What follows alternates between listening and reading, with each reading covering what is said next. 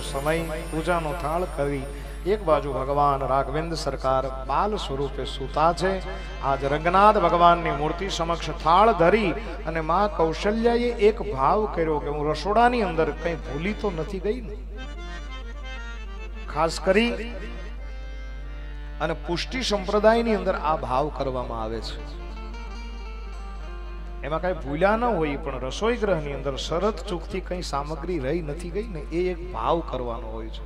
આ ભાવ કરવા માટે માં કૌશલ્યા જ્યાં ખંડ રસોઈ ગ્રહની અંદર ગયા, કઈ બાકી રહેતું નથી. આવું જાણી અને વળી પાછા રંગનાથ ભગવાનની મૂર્તિ સમક્ષ આવ્યા અને ઘટના એ ઘટી.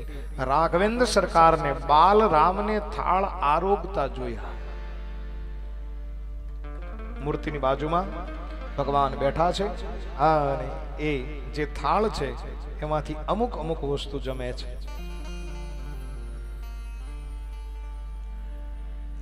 કૌશલ્યાને થયું કે હું હમણાં સુવડાવીને આવી તો આ અહીંયા કેમ પાછું જાગી ગયો હશે? ખંડની અંદર જ્યાં જોવા જાય, દોડી અને ખંડની અંદર જાય તો ભગવાન રામ સોનાના પારણિયાની અંદર ઘસઘસાટ ઊંઘે છે. વળી પાછી દોડી અને ભગવાન રંગનાથની મૂર્તિ સામે આવી તો ભગવાન રામ થાળ જમે છે. તુલસીદાસજીને લખી નાખવું પડ્યું કે, ઈહા, વુહા, દુઈ બાલક દેખા. એક સાથે બે રામનું દર્શન. મનમાં વિચાર કર્યો કે હું સપનું જોઉં છું કે શું છે? મતિ ભ્રમ મોર કે આન વિશેષા? મારી મતિ મારી નથી ગઈ ને. બે દાંતની વચ્ચે જી આમ આમ આંગળીને દબાવી હા અને જોયું કે ભાઈ આ વસ્તુ તો મારી મારો ભ્રમ નથી આ તો સત્ય છે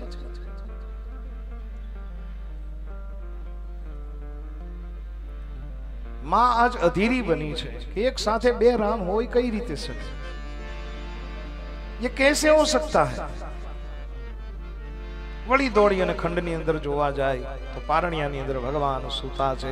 આ બાજુ દોડી અને જોવા જાય તો ભગવાન રામ થાળ જમે છે. બે ત્રણ વાર આવું થયું ને? ખંડની અંદરથી બહાર આવી તો રંગનાથ ભગવાનની મૂર્તિની સામે ભગવાન રાઘવેન્દ્ર સરકાર થાળ જમે છે અને ભગવાન રામને હસવું આવ્યું.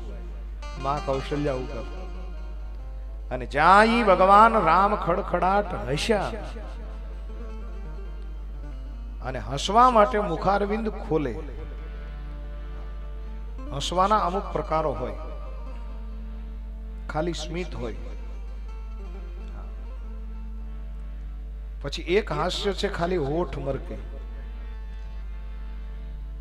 એક હાસ્ય છે ખાલી તમને દાંત દેખાય. હાસ્યનો એક પ્રકાર છે કે મોઢું ખુલે. અને હાસ્યનો છેલ્લો અને અંતિમ પ્રકાર જે દાનવો ઉપયોગમાં લેતા અટ્ટહાસ્ય. પણ આજ ભગવાન રાઘવેન્દ્ર સરકારનું બાલ સ્વરૂપે હાસ્ય છે. એ મુખારવિંદ ખુલી ગયું.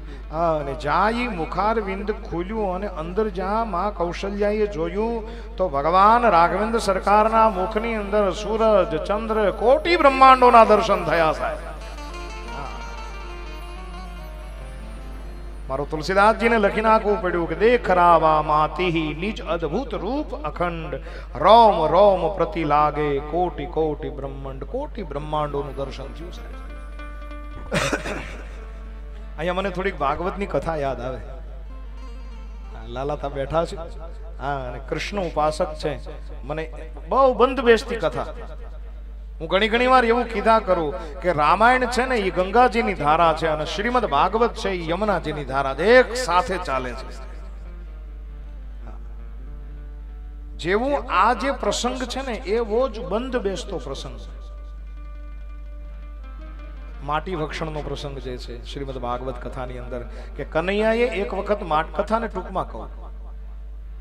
કેમ કે અત્યારે આપણે એ વિષય ઉપર નથી, અત્યારે આપણે રામકથા કરી રહ્યા છીએ.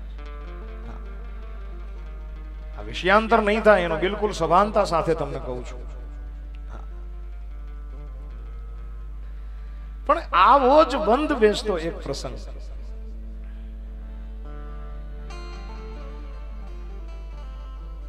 ભગવાન કૃષ્ણએ એક વખત માટી ખાધી, હા, અને બલરામજી મહારાજ જોઈ ગયા અને પૂછ્યું, કૃષ્ણ તુને ક્યાં ખાયા? બોલ્યું, કુછ નહીં. માથું હલાવીને જવાબ આપી દીધો. એટલે મોઢું ખોલતો એટલે મોટા ભાઈ પાસે મોઢું ખોલ્યું. જોયું. બલરામજી મહારાજ આજ કૃષ્ણને સમજાવે છે, કૃષ્ણ, માટી ખાના અચ્છી વાત નહીં હે. તુને આજ માટી ખાઈ? મેં યશોદા કો બતાઉંગા બંને ભાઈઓ ઘરે આવે છે અને સીધી જ રાવ. કેમ કે કૃષ્ણ તો કૃષ્ણ છે, સાહેબ. રામ મર્યાદા પુરુષોત્તમ છે, પણ કૃષ્ણ છે એ પૂર્ણ પુરુષોત્તમ છે. રામે જે જે લીલાઓ કરી એમાં સંપૂર્ણ મર્યાદા અને સભાનતા છે. કૃષ્ણ પરમાત્માએ જે લીલા કરી છે ને એ પૂર્ણ પુરુષોત્તમની લીલા છે. સમજવા કૃષ્ણને અઘરા થઈ પડે. જો સદગુરુ મહારાજની દ્રષ્ટિ ન હોય તો કૃષ્ણ ન સમજાય. કેમ કે કૃષ્ણ તત્વ જ કંઈક વિલગ છે. તમે જો કૃષ્ણ બાલ્યાવસ્થાની અંદર બંસરી પણ વગાડી શકે, હા, અને જ્યારે જરૂર પડે ત્યારે કુરુક્ષેત્રના રણ મેદાનની અંદર પંચજન્ય શંખ ફૂકે આ કૃષ્ણ. એનો એ જ કૃષ્ણ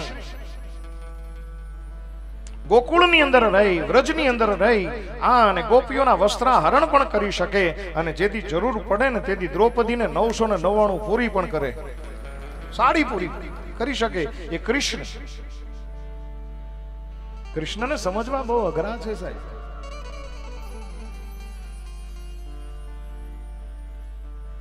અને એ કૃષ્ણએ જેથી માટી ખાધી, ત્યારે સીધી રાવ કરી કે, માં કૃષ્ણે આજ માટી ખાધી જો માં યશોદા કહે છે કે એ તે માટી ખાધી? ત્યારે માથું હલાવી ના પાડે છે. બોલ્યા નહીં, નાહમ બક્ષિત્વા નામ અંબા. કથા તો બહુ મોટી છે સાહેબ. આનો આધ્યાત્મ અર્થ પણ બહુ મોટો છે, પણ આપણે જે અનુસંધાન લીધેલું છે મેં નથી કાધી માથું લાવી ના પાડી ત્યારે માં યશોદા કહે છે તો એક વખત મોઢું ઉગાડીને મને બતાય. કેમ કે આ તો યશોદા છે, નંદરાણી છે. હવે ભગવાન ક્યાં જાય? કે એક વખત મોઢું ખોલતું, તારું મુખારવિંદ ઉગાડતું.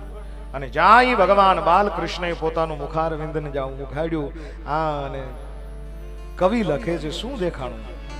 અડસઠ તીરથ ગંગા જમના ચાંદ સૂરજ મુખ માહી.